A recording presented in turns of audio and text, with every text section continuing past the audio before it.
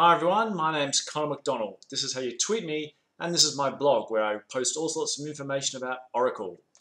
We're going to talk about some of the cool features in 12c Release 2, which you can download right now.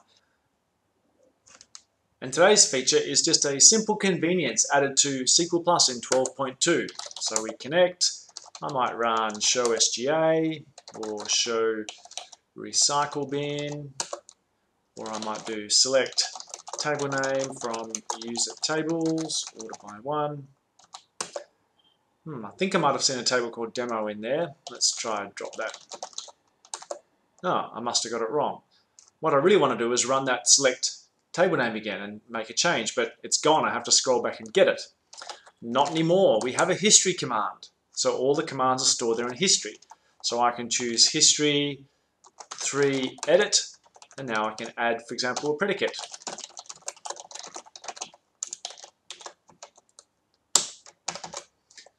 Now it appears at the end of my history list. So history 5 run.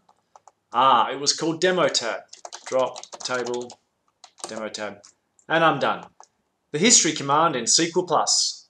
A nice little touch added to the latest version of Oracle Database.